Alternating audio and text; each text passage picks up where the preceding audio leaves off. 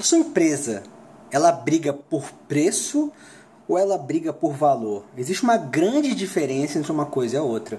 Eu posso te garantir que 99,9999% das empresas do mundo brigam por preço. Vou dar alguns exemplos aqui. Primeiro um exemplo óbvio que é a própria Apple, né? As pessoas não compram o produto Apple por conta de preço, né? Porque se fossem comprar por conta de preço, por conta de custo-benefício, não iriam comprar um celular Apple, porque hoje você compra um celular com as mesmas especificações técnicas de um iPhone por metade ou até um quarto do preço. Então as pessoas estão comprando por outros motivos, né? Por status, estão comprando por conta da comunidade que faz parte, né? Por conta do ecossistema da Apple e assim por diante. Vou dar um outro exemplo. O Netflix, quando ele lançou, qual era a única coisa que ele podia fazer?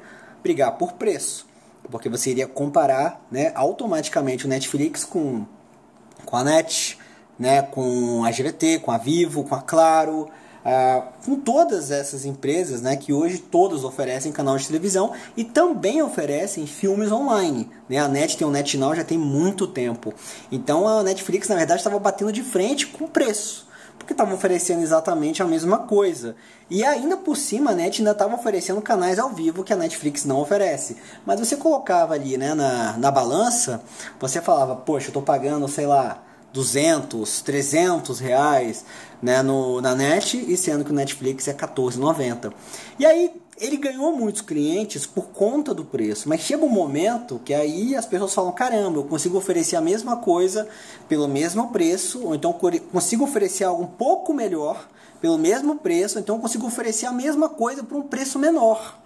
E aí, nesse momento, a Netflix naturalmente vai perder vários clientes, porque chega um momento que esse modelo de negócio não funciona. Isso é, é o básico do capitalismo. Na hora que você cria alguma coisa que faz sucesso, que dá certo, as pessoas vão copiar, vai chegar uma concorrência e naturalmente eles vão brigar por demanda.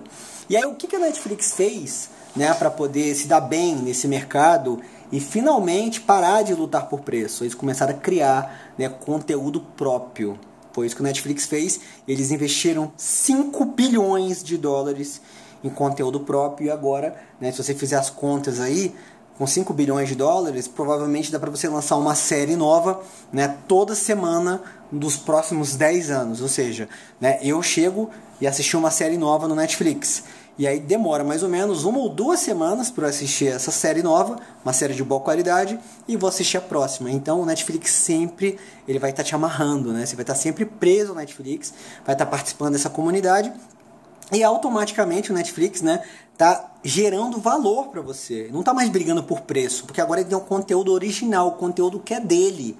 E aí você vai falar: "Não, cara, eu prefiro pagar o Netflix, né, que tem um conteúdo original, do que pegar a Net, do que pegar a Claro, do que pegar a GVT, que não tem nada, né, que estão oferecendo mais do mesmo, que oferece a mesma coisa. Né? A HBO começou fazendo isso, né, foi a primeira a ter essa ideia de criar conteúdo original na televisão, criar aquele negócio, né, aquele slogan chamado It's Not TV, It's HBO. Ou seja, eles se distanciaram da televisão e criaram um conteúdo próprio, dizendo: não, a gente não é televisão, a gente é HBO.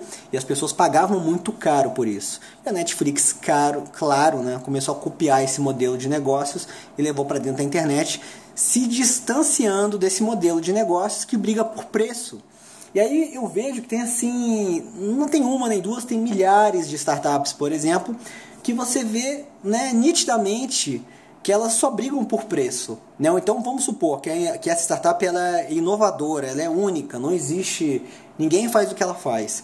Mas você vê que é algo fácil de ser copiado, não tem um diferencial competitivo, e aí naturalmente vão surgir concorrentes e essa startup vai começar a brigar por preço até chegar um momento que ela vai morrer porque ela não tem nenhum diferencial competitivo, ela não tem nada, né, nenhum valor agregado, não tem nenhum propósito, não tem nada disso.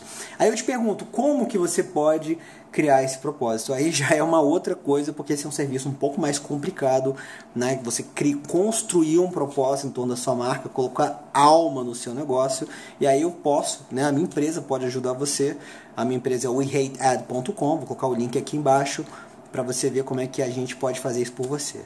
É isso aí, espero que tenha gostado. Não esqueça de curtir, compartilhar, de assinar e favoritar o canal.